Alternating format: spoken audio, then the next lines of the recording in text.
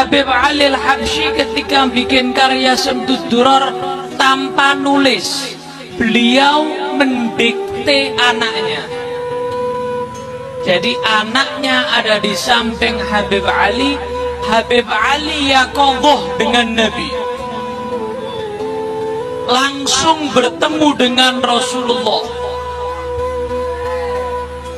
disampaikan langsung di hadapan Rasulullah ditulis oleh anaknya.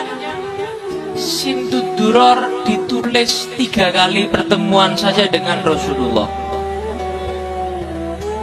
Jadi Simtuduror yang kita baca di mana pun dibaca ini hasil karya Habib Ali tiga kali bertemu Rasulullah bukan mimpi tapi ya Allah bertemu langsung dengan Nabi Muhammad sallallahu alaihi wa ala alihi wa sahbihi wasallam